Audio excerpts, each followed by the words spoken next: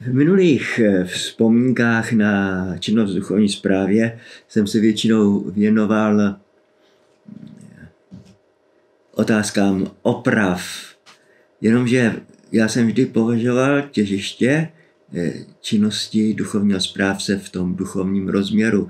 A dneska si tedy připomeneme to, co my v dnešní době už bereme tak jako samozřejmé, že to někdy vůbec nebylo tak snadné. Jednou z nejkrásnějších slavností, kterou my v církvi slavíme, je slavnost Božího těla. V dnešní době se slaví už ve většině farností tady na Vysočině velice okázalým způsobem a je to skutečně slavnost ve vlastním slova smyslu. Jenomže v době komunismu se nesmělo víc kostela projevy kultu, jak se tenkrát oficiálně říkalo, mohly být pouze uzavřené v budově kostela. Přestože eh, tyto svěrnice jsem znal, eh, tak jsem eh, pokaždé aspoň na malý kousek vyšel s božím tělem z kostela ven. U většiny venkovských kostelů je totiž kolem kostela trávník ohraničený zdí, tedy bývalý hřbitov, jak to dřív bylo. A my, i když už jsme si nemohli postavit ty oltářičky eh, na návsi a obejít eh, prostě tak, jak to bývalo dřív, tak jsme aspoň obešli ten kostel tady v tom malém prostoru a přesto, že jsem to dělal každý rok a že někdy jsem měl teda dost široký záběr, já jsem jeden čas spravoval pět farností na jednou, tak se mě za ty dlouhé roky komunistického zřízení nikdy nestalo, že bych za to byl od státních úřadů nějakým způsobem popotahován. Byla to asi zvláštní boží ochrana, každopádně i ten maličký projev toho, že jsme s tou nejsvětější svátostí mohli být z budovy kostela, dělal lidem radost a vždycky se na tuto slavnost připravovali. No a pak už se přiblížila doba, kdy to ještě zdaleka nebylo jisté. Vy starší si pamatujete, že jsme ji po ruském eh, způsobu říkali perestrojka. A já jsem měl eh, v obvodě vesnici, farnost Košetice. To byla taková typická vesnička, má středisková, která měla široký záběr, byli tam aktivní lidé a my jsme si v roce 89, tedy ještě před listopadem na jaře řekli, že to teda uděláme tak, jak bylo dřív. Že postavíme oltáře po celé návsi a obejdeme náves. Ve farnosti byla dobrá dechovka, schopná zahrát všechny potřebné skladby a byl tam šikovný, iniciativní velitel hasičů, který měl u svých mužů velkou autoritu a byl to dobrý katolík a ten dal dost prostě pokyn, chlapi, přijdeme všichni ve svátečních uniformách. Což tedy to, co nám dneska připadá samozřejmé, byl tenkrát skutečně dost krok odvážný. Naštěstí nám tu neděli přálo nádherné počasí a tak, jak to bývá, drůžičky napochodovali dvě desítky hasičů v parádních uniformách, dechovka. Tady nastal takový malý záběr, malý zádrhel. Já jsem si přál, když se bude přecházet od jednoho oltáře k druhému, aby hráli tak, jak je to zvykem Ježíši králi pan kapelník, jinak varhaník v sousedním kostele, se začal ošívat a říkal, no prosím vás, Ježíši králi, přitom ty hasiči nebudou moc pochodovat. To není melodie, při které by se dalo pochodovat.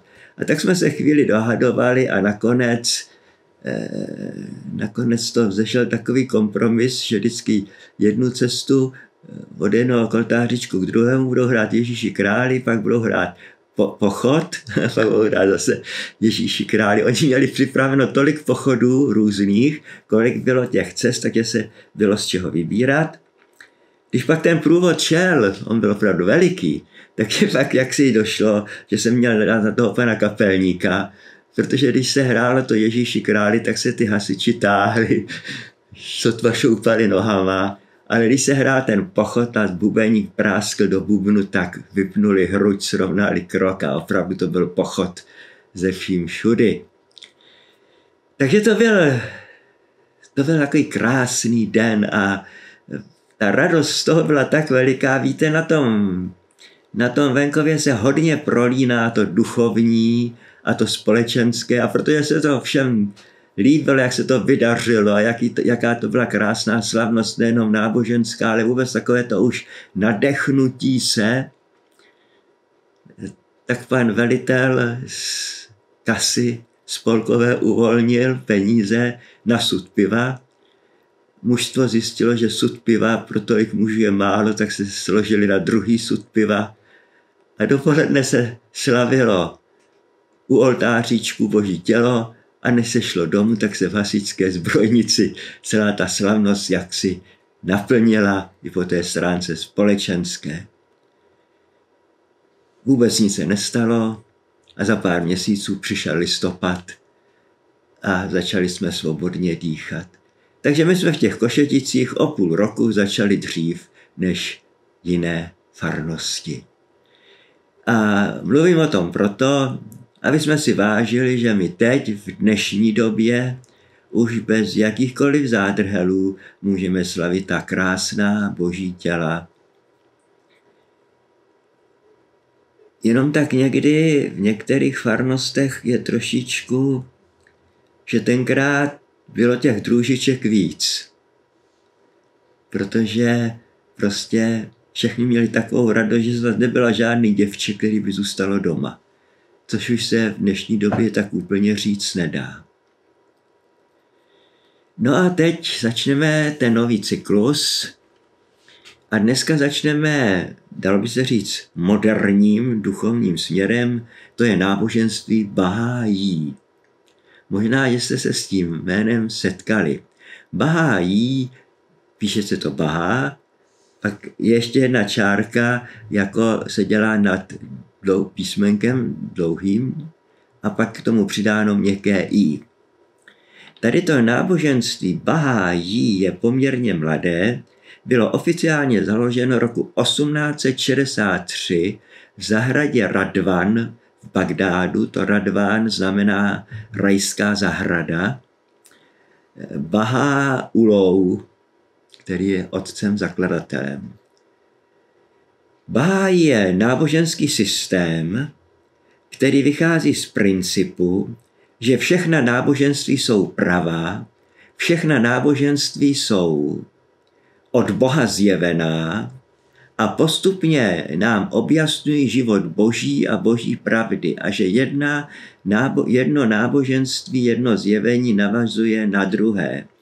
To znamená, oni berou jenom ta velká náboženství.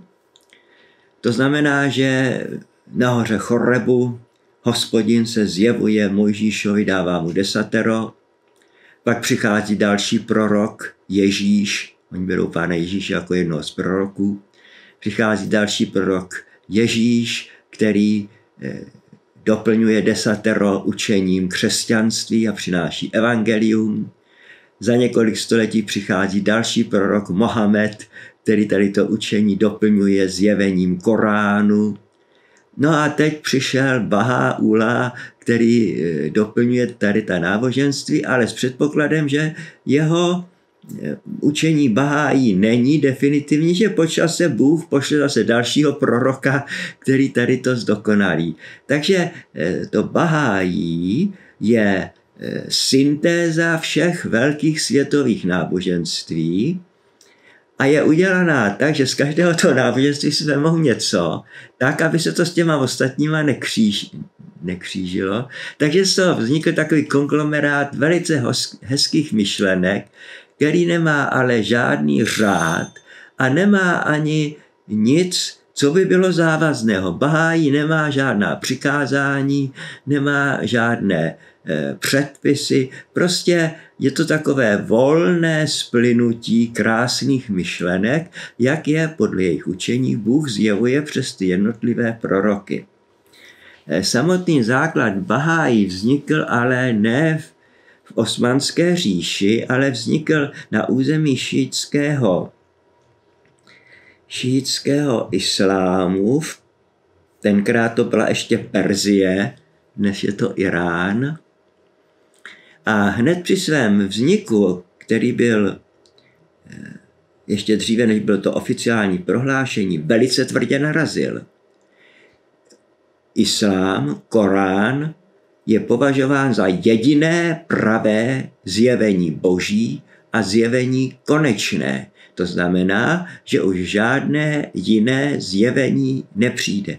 A Korán je jediná posvátná kniha na světě což bylo v přímém rozporu s tím učením Bahájí. To učení samo vzniká, že jakási sekta vedle Koránu eh, vyčetla v posvátných knihách, že existuje jistý zaslíbení, který přijde a bude pokračovat v učení Mohamedově.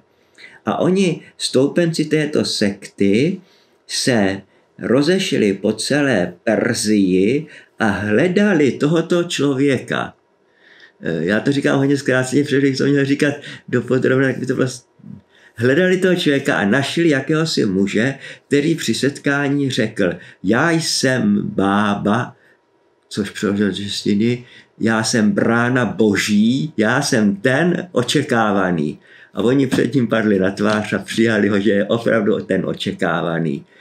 Eh, no a on tedy začal vystupovat veřejně, nosil zelený turban na znamení svého vyvolení, že on je ten pokračovatel eh, pokračovatel Mohamedův a jak jsem před chvilinkou řekl, Mohamedáni nepřipouštějí, že by mohl být nějaký pokračovatel. Takže roku 1850 milý bába eh, skončil na popravišti ale jeho žáci nesli dál jeho učení, tedy to učení o tom plynutí těch božích zjevení, kdy jedno na druhé navazuje, až se jeden z jejich předních členů, to byl právě ten Bahaula, se ocitl ve vězení, kde se mu dostalo zjevení boží nebeské dívky a tato nebeská dívka mu sdělila, uh, oni si ty islamisti v těch děvčatech to slibujou, protože když nějaký mučeník umře uh, jako závíru, tak ho v nebi očekávají ty horlesky, které ho tam jako obklopí ty pány nedotčené a tam ho budou blažit za to, že umřel jako mučedník. Takže i tady ten představitel toho Bahájí měl zjevení nebeské dívky, která mu sdělila, že mu přináší boží moc, aby to učení přinesl do celého do celého světa. Oni to, ti členové Bahájí, považují za stejnou úroveň, jako byla to zjevení Mojžíšovo na hoře Choreb, jako křest pána Ježíše v řece Jordánu, kdy se objevila holubice a zazněl ty jsi můj syn. Nebo jako byla ta velká omilostnění Budhova tam v tom východním sektoru náboženství, tak v té, ve stejné řadě je ta nebeská dívka, která tady tomu Mulovi dává ten pokyn, aby pokračoval ve svém díle. Bahamula byl e, vysoký šlechtic, takže neskončil na popravišti, ale byl vyhoštěn z Perzie, odešel tedy do osmanské říše, tenkrát Irák, Sýrie, Turecko a Jordánsko byla osmanská říše v tom 19. století. A v té osmanské říše, říši v tom městě Bagdádu, v té zahradě Radvan roku 1863 oficiálně prohlašuje, že vzniká nové světové náboženství. A oni ten to považují tedy za rok svého vzniku. V současné době Ono to je dost těžko spočítat, ale oni říkají, že jich je po celém světě 6 milionů. Což vypadá impozantně, ale když si představíme, že jenom římských katolíků je 1 miliarda 200 milionů, tak jak cítíme, že to je taky opravdu jenom taková hrstička, hrstička v tom světovém dění. celé křesťanství samo má přes dvě miliardy, islám má přes dvě miliardy, takže 6 milionů je opravdu jenom taková jaksi skupinka vyvolených, kteří přijali to učení. Každopádně jsou to lidé, disponující určitým postavením ve světě, to určitým způsobem výlučná, eh, výlučné společenství, o čem svědčí, že staví nádherné chrámy. Jejich hlavní chrám světově na území Izraele, což je trošku zajímavé, v městě Haifa, to je přístavní město eh, na břehu středozemního moře a tam na pahorku stojí nádherná svatyně postavená ve slohu eh, chrámů eh, Olympu a těch chrámů byzantských s tím slou pořadím a s těma korinskými lavicema. A jakže to stojí na tom pahorku, tak to je opravdu impozantně, to mnohem impozantnější než třeba Akropole v Aténách.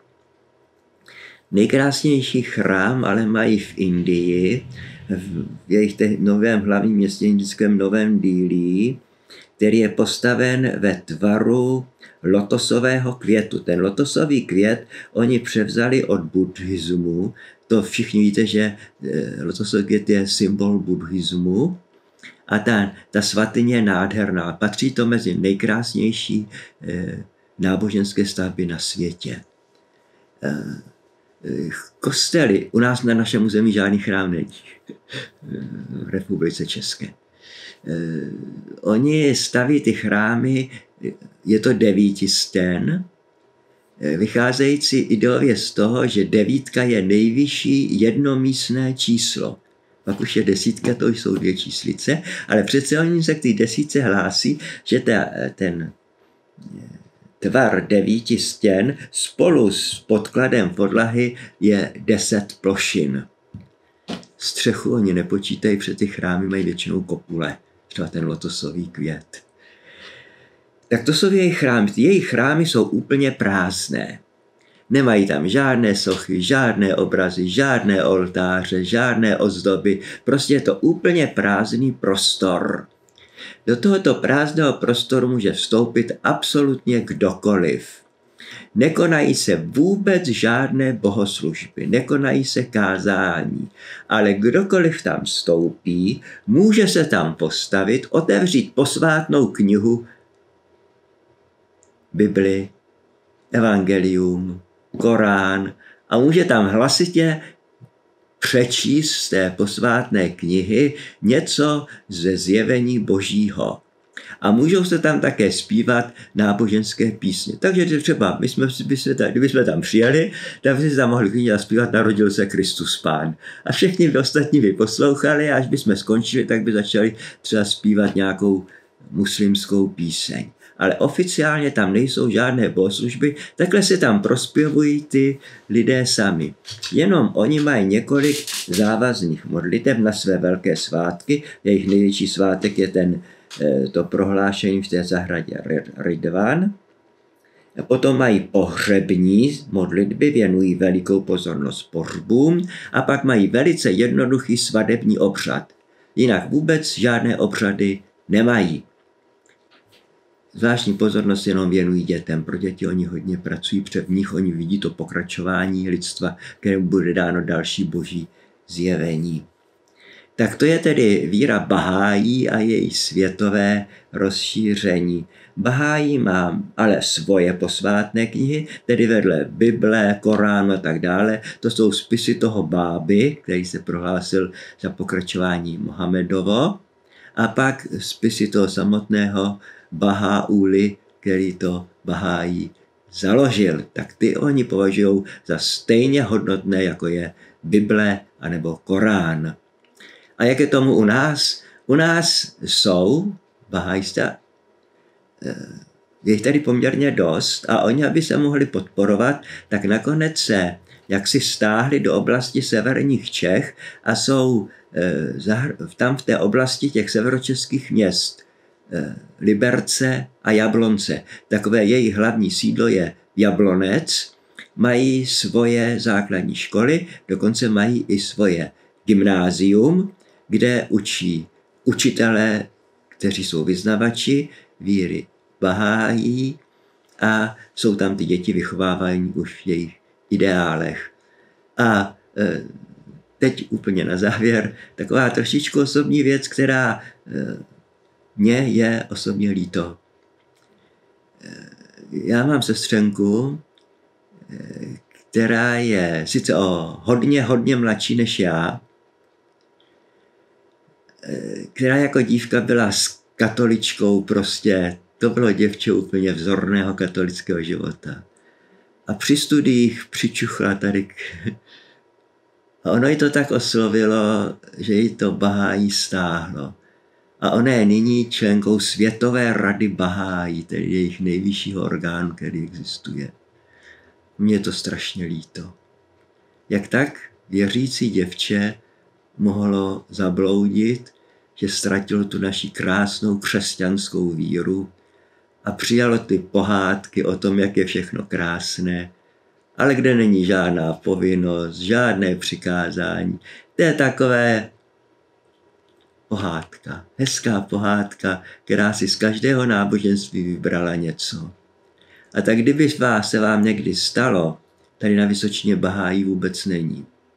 Kdyby se vám někdy stalo, že se ze stoupenci z tohoto náboženství setkáte a že vás okouzlí, jaké to je krásné v tom jejich podání, tak zavřite uši, zavřite oči a utíkejte, dokud je čas, než oni těmi svými krásnými řečmi by mohli obloudit i vaše srdce.